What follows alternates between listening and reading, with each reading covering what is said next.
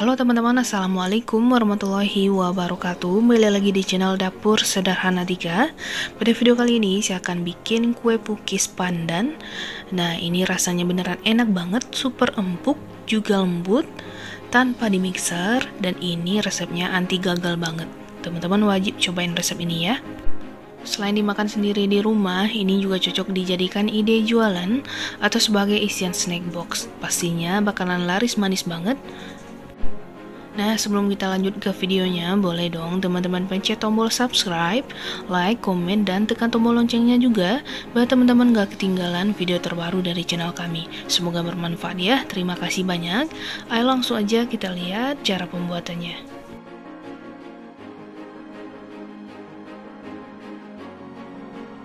Pertama, siapkan wadah, pecahkan dua butir telur, Tambahkan 150 gram gula pasir. Lalu ini kita kocok sampai tercampur rata. Nggak usah terlalu larut ya teman-teman gulanya.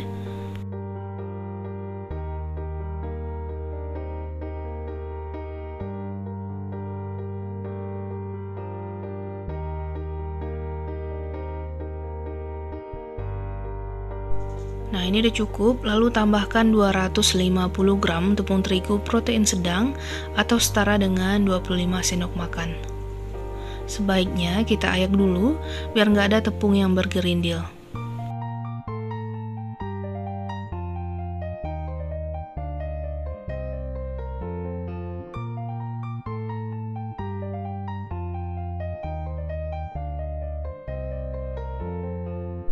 Lalu tambahkan setengah sendok teh vanili bubuk, sejumput garam, setengah sendok teh ragi instan. Usahakan raginya itu masih aktif ya.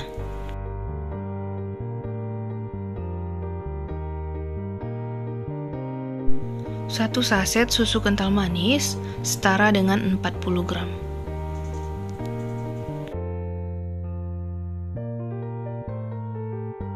300 ml air santan di sini saya masukin bertahap.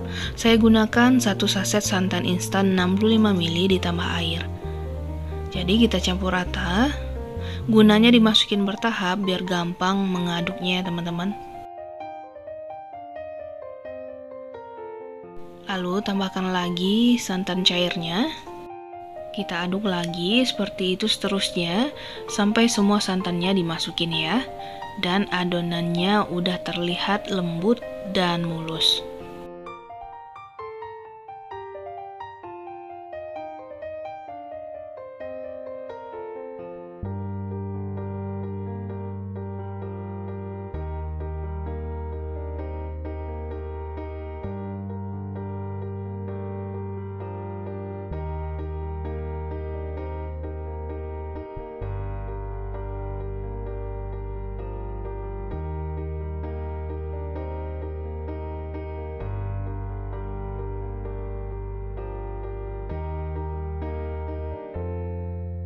Nah, kalau udah lembut seperti ini, kita masukin 100 gram margarin yang udah dicairkan. Dan ini udah dalam keadaan dingin ya. Kita aduk lagi sampai rata.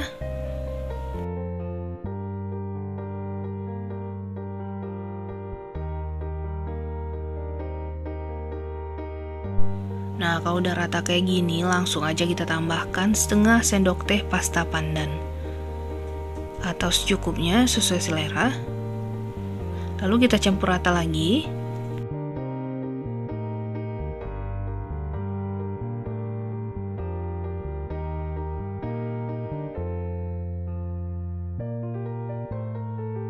Nah, untuk memastikan adonannya ini udah tercampur rata, kita aduk lagi menggunakan spatula ya.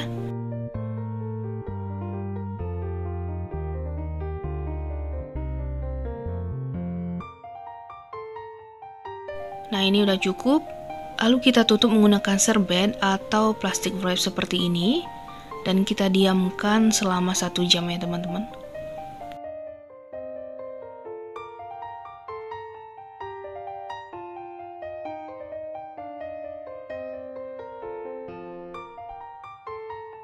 Setelah satu jam, teman-teman bisa lihat dia ada gelembungnya gitu ya. Kita buka plastik wrapnya lalu kita aduk lagi. Nah, ini siap untuk kita cetak.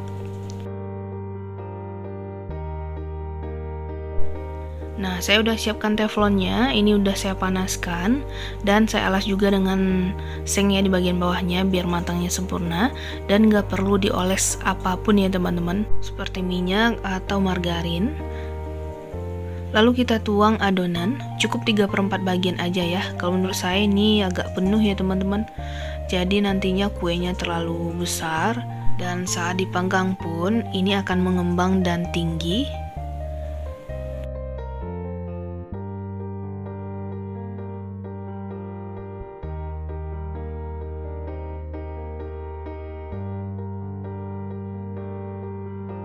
Lalu kita tutup dan kita panggang menggunakan api kecil, kita masak sampai setengah matang aja.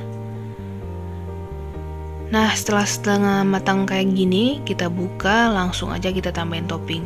Di sini saya menggunakan sukade, juga keju parut, dan meses coklat ya teman-teman.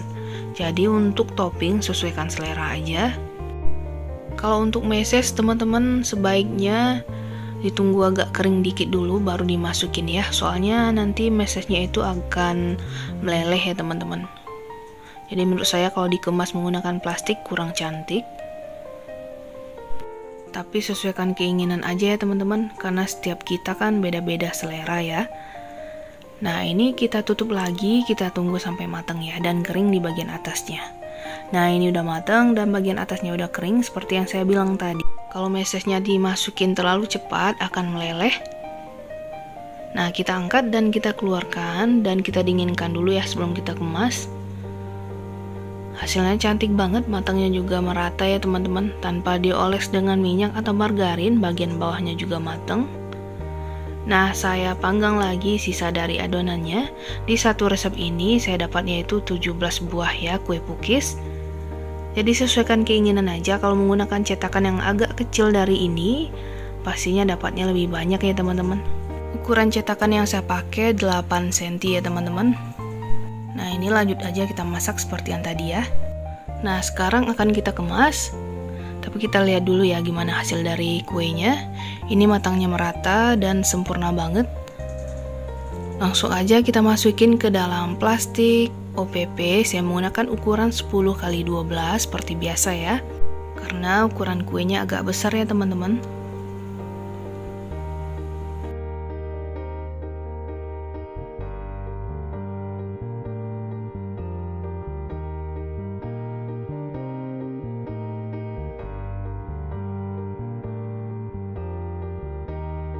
Nah, rapi dan cantik ya.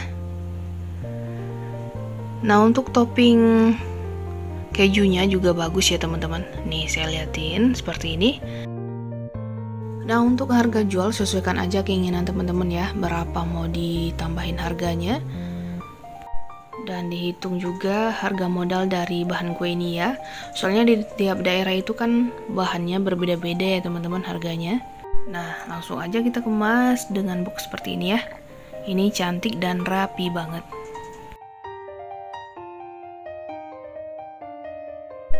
Disusun dengan box yang kecil seperti ini juga cantik. Jadi sesuaikan aja, tinggal pilih sendiri ya modelnya kayak gimana.